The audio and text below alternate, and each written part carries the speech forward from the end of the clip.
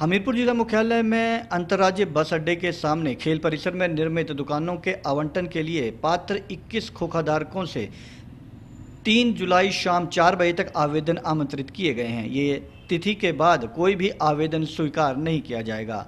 उपायुक्त हमीरपुर देवेश्वेता वर्णिक ने बताया कि उक्त स्थानों के आवंटन के संबंध में 21 पात्र खोखाधारकों को 23 जून को ही नोटिस के माध्यम से सूचित कर दिया गया है। उन्होंने बताया कि खेल परिसर की दुकानों की व्यवस्था का संचालन कर रही खेल संस्कृति शिक्षा एवं अन्य विकासात्मक गतिविधि प्रोत्साहन सोसाइटी के पास वीरवार एक जुलाई तक कुल बारह खोखा धारकों के आवेदन प्राप्त हो चुके हैं। उन्होंने बताया कि खेल परिसर की दुकानों का आवंटन बस अड्डे के सामने खोखा चलाने वाले 21 लोगों को पहले आओ, पहले पाओ के आधार पर किया जाना है। इसके लिए उन्होंने आवंटित उप समिति के समक्ष ये हल्फनामा देना होगा कि वे दुकान आवंटित होते ही अपना खोखा भी हटा देंगे।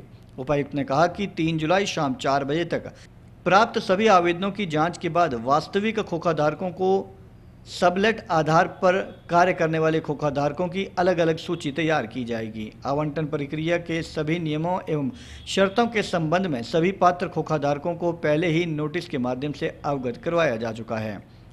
उपायुक्त ने बताया कि बस स्टैंड के सामने खोखा मार्केट के कारण यहाँ हर समय दुर्घटना का अंदेशा बना रहता था, तथा यहाँ अक्सर ट्रैफ़िक जाम की स्थिति बनी रहती थी। यहाँ से खोखे हटाने के बाद जहाँ यातायात व्यवस्था सुधरेगी, वहीं शहर की सुंदरता भी बढ़ेगी।